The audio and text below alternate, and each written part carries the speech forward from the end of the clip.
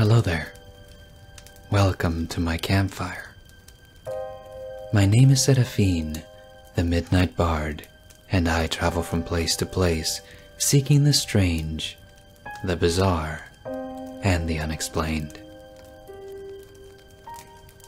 Mankind seems to multiply more and more with each passing day.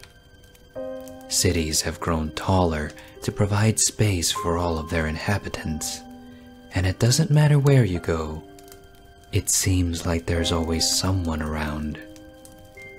It can sometimes be a little difficult to find some time alone to be with your thoughts. It's why some answer the call of the road. When overwhelmed with the noise of daily life, a quiet, lonely drive down vast empty spaces can be just what one needs to decompress. well, I'm afraid that being away from people doesn't always mean being alone. There are things that lurk just outside of your vision that are present more often than you'd think.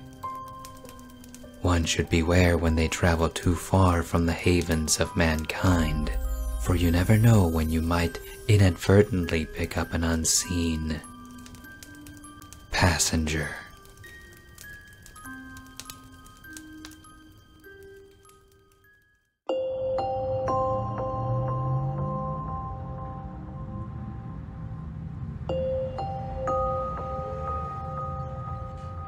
There's something in my passenger seat. It's a long drive from my brother's place in Austin. He insisted I visit. He said that no one should be alone for the holidays. I left this place sometime after midnight. It was after I left the city lights behind that I noticed it in my peripheral vision. I felt it before I saw it. That feeling that I was being watched judged. I dared not turn my head to look. It, was the shadow at the edge of my vision. It was the creeping darkness at the edge of dusk. I took my eyes off the road for the briefest second. There was nothing in my passenger seat. My muscles tensed. I started grinding my teeth. Something gnawed at my stomach.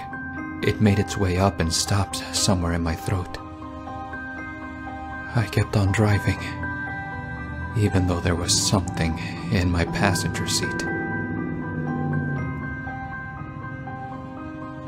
What would happen if I stopped?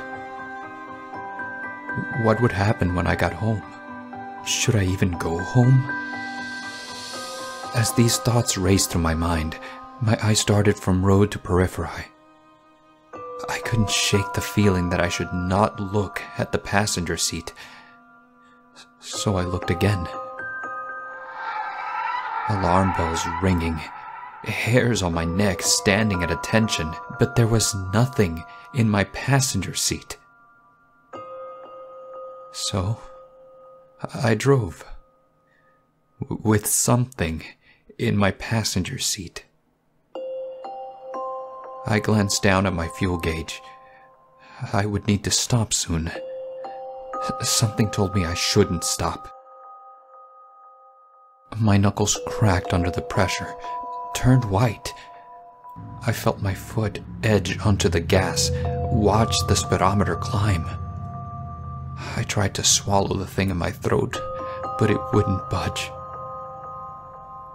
I glanced at my passenger seat again. It was empty. My neck felt hot. Beads of sweat formed on my brow. Focus on the road. Ink bled into my vision, tendrils reaching from the depths. I looked. The passenger seat was empty. I wanted there to be something there. I wanted there to be some horrifying monster. Instead, there was nothing but the shadow on the edge of my vision. There was something in my passenger seat. There was nothing in my passenger seat. The gas station was fast approaching. I could see the lights on the horizon. I needed to stop. I couldn't stop. My muscles strained. My brain could do nothing but focus on the thing in my passenger seat. The thing that wasn't in my passenger seat. Just another mile. I could stop. I could stretch my legs. I, could get a snack. I wanted nothing more than to get out of this car. My heart sank as the entrance disappeared in my rearview mirror. I flew by. I couldn't stop.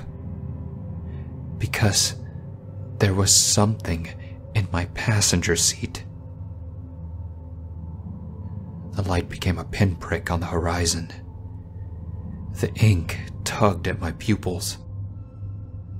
There was nothing in my passenger seat. My car slowed. My car stopped. There is something in my passenger seat. Hey there, Campfire Gang. If you enjoyed today's story, be sure to visit the author's Wattpad page. There, you'll find a collection of stories guaranteed to send a shiver down your spine. Thank you for watching, and remember, darkness welcomes the inquiring.